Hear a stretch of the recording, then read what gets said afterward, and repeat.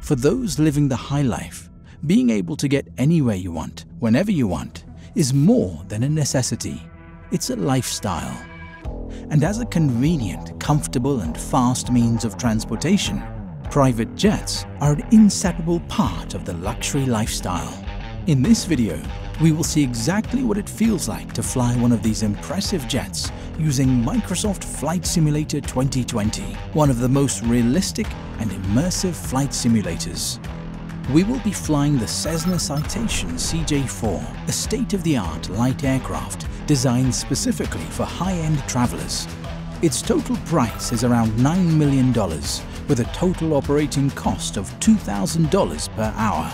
Its cabin features room for 10 passengers, trackable seats, individual climate control, and high-definition entertainment. In command of this flight is Fiona Volpe, the owner of this aircraft. This aircraft is equipped with advanced and intuitive avionics suite and can even be flown single pilot.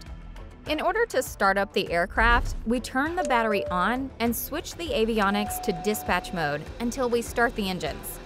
After that, we can proceed to program the flight management computer, which is very similar to Boeing aircraft. Here we are entering our position, departure, and arrival data, entering our flight route, takeoff data, and radio frequencies. In this video, we will be flying from Miami International Airport to Key West. In addition to luxury hotels that cater to guests with sophisticated taste and needs, Miami also offers breathtaking beaches, exclusive restaurants, yachting, and wild parties in one of its many nightclubs. Miami also has a rich art scene that inevitably attracts tourists. In this video, we will be using runway 08 right.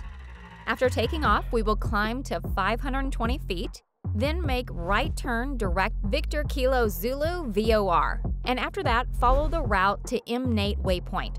Our cruise altitude will be 24,000 feet, and the flight will last for just 40 minutes. After setting up the FMC, we are ready to start the engines.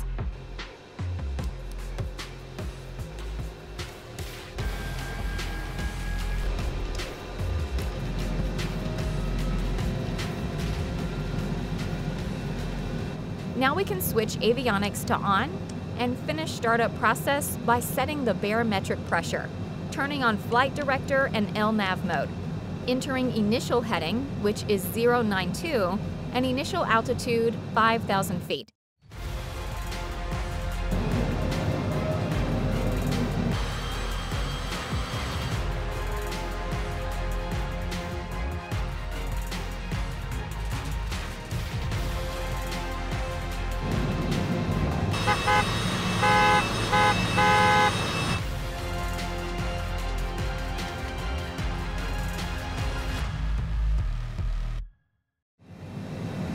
Ready for takeoff?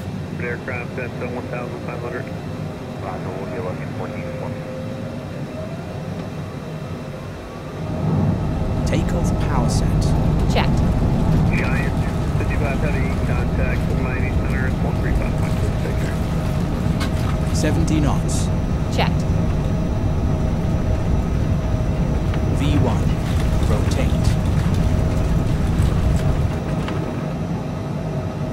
Positive rate.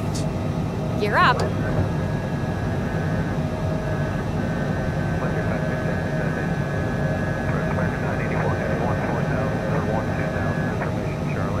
American 94 heavy, Miami approach, ILS, runway 9, to maintain 8,000. for 9, if we get the north side, it'd be great. I can give you 8 less. You know, some blue man's the tower, what's up?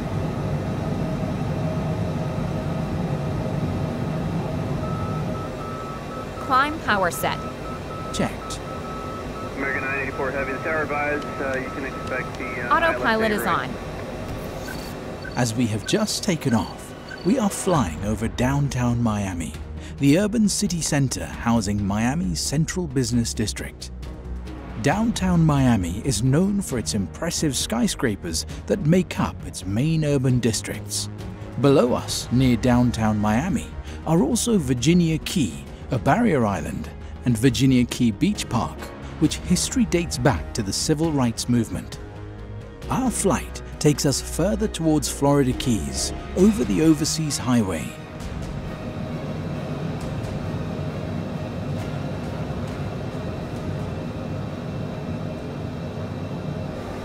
American 25, you want 8 right then?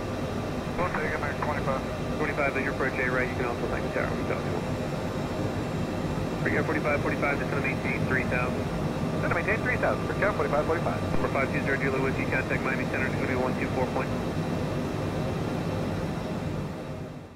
The Overseas Highway stretches for 170 kilometers and connects Miami and Key West.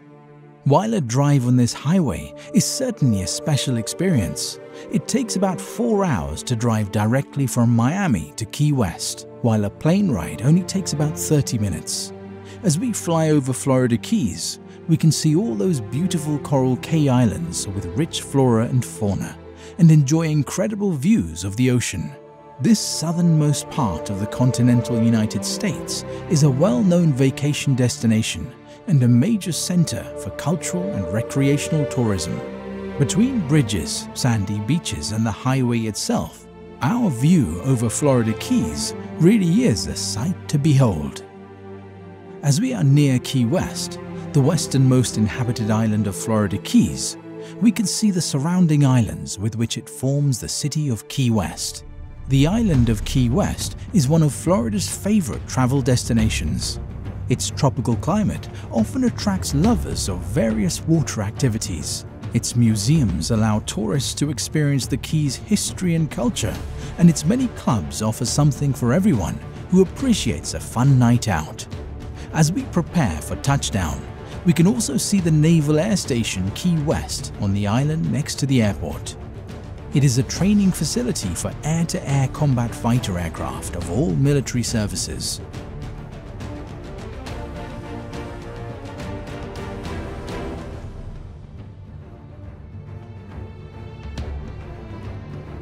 Perform a non-precision RNAV approach and landing on runway 09 in Key West Airport. We will descend to 1,500 feet at Atinal Make a left turn to fly runway heading, which is 093, and capture the glide path. Descending to 1500 feet. 1500 set. Flaps 15. Speed checked. Flaps 15.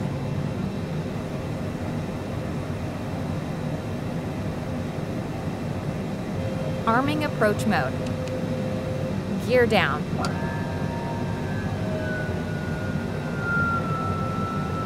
flaps 35. Speed checked. Flaps 35.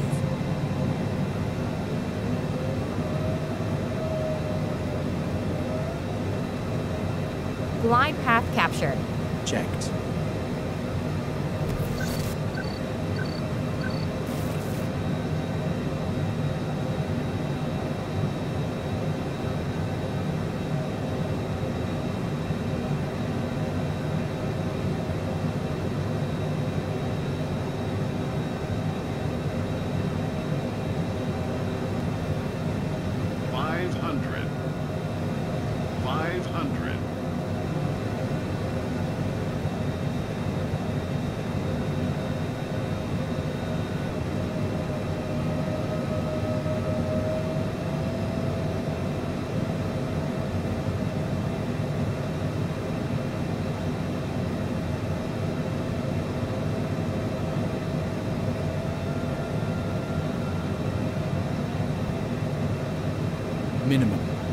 Continue.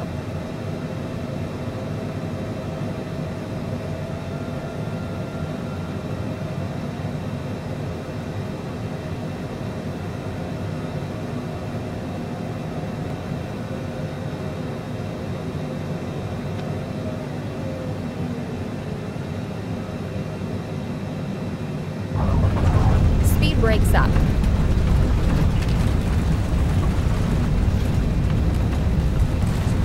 70 knots.